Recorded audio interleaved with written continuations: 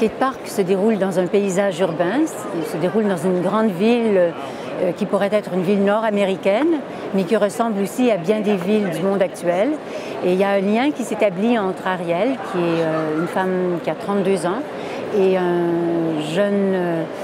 petit évadé à mi-temps de la banlieue, si on peut dire, qui, aime le rap et le roller. Donc, au début, le, jeune garçon fuit Ariel, ne sachant pas qu'elle ne souhaite que lui remettre un sac à dos qu'il a perdu un soir dans le métro. Et, euh, Ariel s'engage dans une, chasse qui est réticente, mais en même temps dispersée, euh, où elle essaie de retrouver ce jeune garçon par souci, en fait, de, son, de, cet enfant qui semble être en passe de devenir un enfant des rues. Et alors, au même moment, elle rencontre... Euh, un homme qu'elle accueille chez elle, un nouvel amant qui semble être le compagnon parfait, mais qui en fait est très évasif et, paraît de plus en plus louche. Et euh, alors c'est ça, il y a donc deux couples, euh, le couple Ariel euh, et Roller, le petit Roller, et Ariel et son nouveau compagnon. Et puis et c'est un roman qui, qui porte sur la complexité de nos motivations amoureuses, sur sur la bienveillance nécessaire des adultes envers les enfants dans le monde d'aujourd'hui, sur, euh, euh, sur l'importance du récit dans nos vies. C'est-à-dire que cet enfant qui est en train de, de devenir peut-être un enfant des rues, il a l'impression de, n'exister pour personne, de ne compter pour rien. Et Ariel, éventuellement, pourra peut-être lui permettre de devenir l'auteur de sa propre vie, l'auteur de sa propre histoire. Euh, mais tout ça va passer par un, crime horrible euh, qui permettra à Ariel de s'approcher du garçon parce qu'elle refusera de se porter témoin, euh, donc de se porter juge en même temps.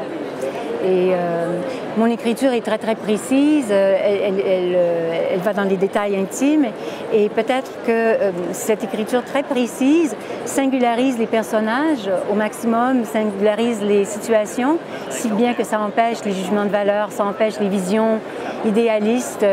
ou moralistes. Et donc, il n'y a, pas de jugement de valeur. Et il y a, comme, habituellement dans la littérature, je dois dire, euh, mais alors le roman porte aussi sur la poésie urbaine qui est le rap, sur la virulence de cette poésie, mais qui, euh, permet aux enfants de, se donner des repères, euh, très souvent les seuls repères dans l'imaginaire qu'ils puissent avoir dans leur vie d'enfant. c'est des, des, envolées, c'est une poésie qui qui, jettent un pont en dehors du corps, qui leur permet de passer à un autre registre plutôt que d'exploser de l'intérieur, dans, ce corps qui, ne sait plus quoi faire des émotions. Et euh, donc, il est question évidemment du de la poésie urbaine, mais tout ça du point de vue d'une chanteuse, de quelqu'un qui est une artiste et qui comprend que l'art est très souvent une, forme de salut, euh, une façon de se réapproprier soi-même, de faire un retour imaginaire sur soi. Et, euh, alors voilà, c'est un roman qui fonctionne à plusieurs niveaux, qui a plusieurs dénouements aussi, et euh, où il est question de, de, l'art comme dans mes romans précédents, c'est-à-dire que c'est aussi pour moi une façon, quand je pense à d'autres arts comme ici le chant, puisque Ariel est une chanteuse qui a une voix fabuleuse d'opéra, mais qui euh, la travaille comme elle ferait de la musculation sans vouloir monter sur une scène. Alors, il y a ce rapport de, l'art au corps et puis ça me permet aussi en même temps, en pensant à la voix, en réfléchissant sur euh, cet art bien particulier dont, le corps est l'instrument, ben, de réfléchir aussi à d'autres arts et à l'art de l'écriture aussi. Pour moi, le roman est une, est une forme d'art comme la sculpture, comme, euh, comme la peinture. Et